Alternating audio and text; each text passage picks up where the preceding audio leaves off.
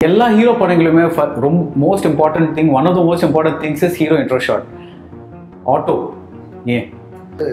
ஆட்டோவில் போய் எதுக்கு ஒரு ப்ரொஃபஸர் போய் படுத்துருக்கணும் அப்படிங்கிற பாயிண்ட்டை யோசிச்சிருந்தோம் அதுவே நல்லா இருக்கு பண்ணணும்னு சொல்லிட்டு ரொம்ப சாதாரணமாக ஒரு ஸ்ட்ரீட்டில் மார்க்கெட் ஸ்ட்ரீட்டில் ஹெட்ஃபோன் போட்டு தூங்கிட்டு இருக்க மாதிரி வைக்கலாம்னு சொல்லி இருந்தாங்க அண்ட் அதுவுமே வந்து ஒருத்தர் பார்த்தோம்.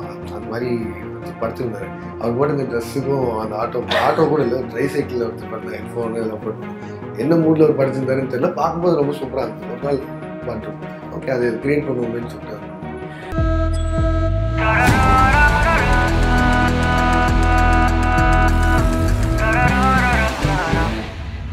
They call me master, but I never faster.